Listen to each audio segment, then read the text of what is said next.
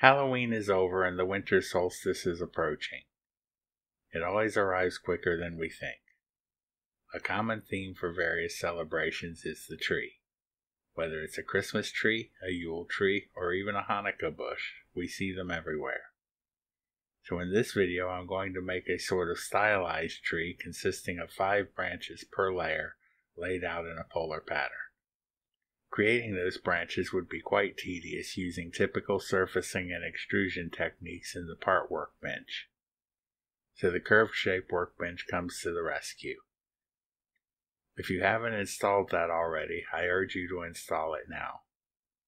Start with a sketch on the XZ plane. Create an arc in three points. Start out on the x-axis, come up to the y-axis, and curve inward towards the origin. Do the mirror image on the other side. It doesn't have to be precise, it can be constrained down later. Select the endpoints of the arcs on the x-axis and the origin and constrain symmetrical. Select the two arcs and create an offset. Set the offset to 1 millimeter. Select the two arcs we started with again and toggle to construction geometry. Close the sketch. This gives us a good base profile for a branch of the tree. Now create a sketch on the YZ plane. Looking carefully, you can see the first sketch in the profile on the y-axis. Bring in the line segments at the top and the bottom of the first sketch as external geometry. Those are actually arcs, but from this perspective they look like line segments. Create another arc in three points. Start from the topmost point of the previous sketch and attach it to the x-axis curve it inward slightly. We just want a gentle curve such that we might see in the outline of a tree branch. To complete the shape, drop in a line from the origin to the end point of the curve on the x-axis. Close the sketch. This gives us a sort of vertical rail for the curved shape's curved array tool. As you can see from looking at the top, we still need to constrain the array from the sides. Create a new sketch, this one on the XY plane. Bring in the endpoints from the other two sketches as external geometry. On each side, create an arc in three points attached to the endpoints of our two sketches. Again, curve them in just slightly. So the tree doesn't look crooked, constrain the arcs to be equal. We don't want the branches to come out into needle sharp points, so select the sketch fillet tool and both of the arcs. This gives us the rounded end that we want, but now we're falling well short of the arcs of the other sketches. We can fix that up. Select the arc and the external point and the point on object constraint. It did what we said, but not quite right. Zoom in on the top of the sketch. Select the center of the arc in the y-axis and constrain it point on object. That's a lot closer, but now the arc is almost vanishingly small. Grab the center of the arc and pull it downward a little bit to open it out. Close the sketch. That looks a little funny, but it's actually what we want. The Curve Array tool will create copies of the profile scaled and distorted as needed to keep it on the rails. Go to the curved shape workbench, select Sketch, Sketch 1 and Sketch 2, and Curved Array.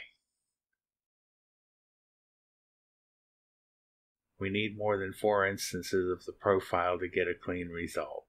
Select the curved array and in the data pane set items to 8. That looks like enough to faithfully create the shape. Now set solid to true. That looks not quite right. Since the problem is with the starting profile, go to Offset Start and see what we can accomplish. It looks like 1 millimeter gives us a good result. It got us past the little geometric anomaly so that now we have a nice shape much like we wanted. Now open up the curved array and hide the sketches away. They're just creating visual clutter at this point. Back to the part workbench. Now that we have the basic shape, it's time to make a polar array of five of them. A common first approach to that is to just create the array. Count of five and set the radius to zero. Select the curved array, select the polar array, and populate polar array with copies. Overall, that's more or less what we were hoping for. But we have the obvious problem of other instances sticking out from the side. Another issue is that the underside, in addition to being far from optimal, would not permit any kind of wiring of lights from the center. In this case, the simple strategy is not going to be sufficient. Undo that step. What we have to do is trim our shape to avoid the overlap. So we'll build a tool for trimming. Create a new sketch on the XY plane.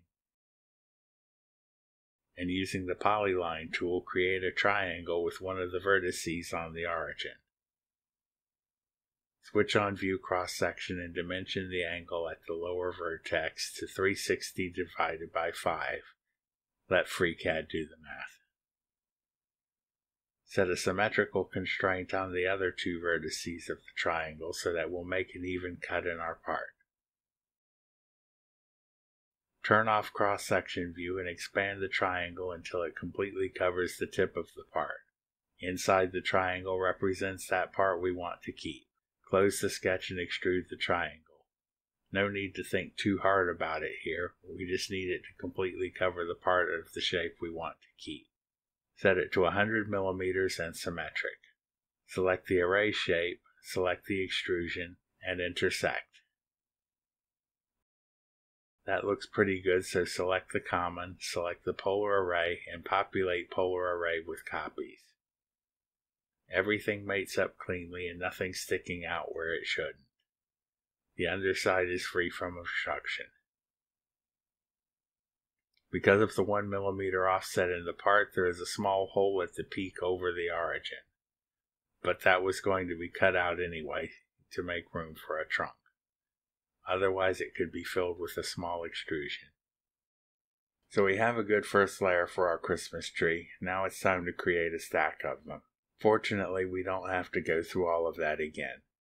Select the populated polar array and create a draft clone.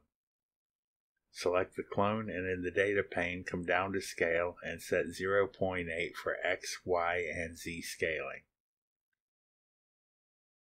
In the model tree, select the clone, right click and select transform. Just raise the clone up a little bit. The top of the first layer should remain inside the second layer just a little bit, giving the impression of branches. There's not really a precise number for this. It's just a matter of personal aesthetics. It can always be adjusted later. When you get it where you want it, just click OK on the transform dialog. Now for the next layer. Once again clone the first layer. It needs to be scaled down from the layer below in the same proportion. There's a little infelicity in FreeCAD here. I would like for it to do the math, but it doesn't seem to work in the scale fields of a clone. So select it and in the data pane, scale in X, Y, and Z set to 0.64. You can also set that for X and use a formula to set Y and Z and set them to be the same as X. Again, right click on the layer and transform and raise it up to like before. Now one more layer for the top. Same procedure, and the scale is 0.8 to the third power or 0.512. Position it just like the others. That's got it stacked up, and it's an interesting looking design, but trees don't work like that. The branches spiral upward along the trunk. So we need to apply a rotation to each of these layers. Go to the second tier and in placement dot angle enter 360 divided by 5 and then divide by 4. 360 divided by 5 is the total rotation from one branch to the next. Since the shapes are periodic in rotation, there would be no point in rotating more than that. There are four layers, and within that limited range, we want none of the branches to be at the same angle. So take that number and divide it by 4 to get the first rotation. So FreeCAD does the math for us and comes up with 18 degrees. Select the next layer. In the data pane in placement.angle set a formula. Entry completion will be our friend. Here I start typing populate and it provides a convenient list so I can select the first clone. Placement.rotation.angle times 2. OK that formula and move on to the next tier. Formula entry just like before, but this time multiply by 3 to give us the third position within the range. As you can see, this gives us a much more natural look.